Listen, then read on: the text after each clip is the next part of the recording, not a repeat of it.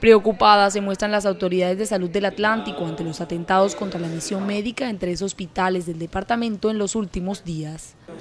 Hemos tenido unos fines de semana complejos en la parte de orden público. Arrancamos con el hospital de Polo Nuevo, donde más o menos la cifra está alrededor de unos 100 millones de pesos en daños. En Campo de la Cruz también tuvimos una afectación del mismo problema, eh, una riña, llegan las personas y atentan contra la actividad médica hay unos daños considerables en Soledad, pudiéramos estar hablando de unos 20 o 30 millones de pesos entre los elementos dañados, igualmente en Campo de la Cruz estaría hablando de unos más o menos 10 millones de pesos. Hizo un llamado a la ciudadanía a no atentar contra la prestación del servicio de salud. No es concebible de que las personas atenten contra la prestación del servicio y contra la infraestructura que está diseñada para poder salvar la vida, incluso a ellos en cualquier momento. Indicó que una vez se conozcan los daños específicos, se buscarán las soluciones económicas desde las municipales.